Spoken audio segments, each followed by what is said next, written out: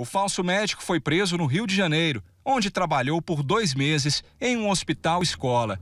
Um dos pacientes dele teve uma perna amputada e, segundo a Polícia Civil, por erro no atendimento. Segundo declarações do filho da vítima, ele simplesmente medicou com analgésico e enviou a vítima para casa.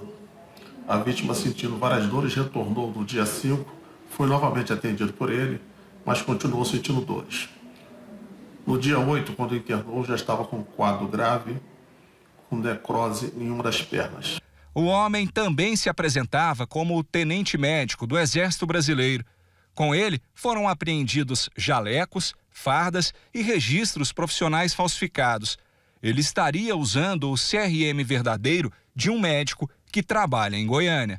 Para a polícia, o homem admitiu que há 15 anos atende como médico em cidades do interior do Brasil, sem nunca ter passado por uma faculdade de medicina. No momento da prisão, ele apresentou uma segunda identidade, que também era falsa. O Instituto de Identificação da Polícia Civil de Goiás identificou o suspeito, Australiamar Fernandes Ferreira, de 41 anos.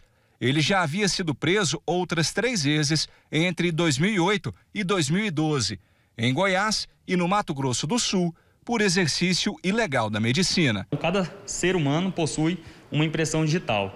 Inclusive, uma mesma pessoa não possui a mesma impressão digital nos 10 dedos. Todos os 10 dedos são diferentes dela.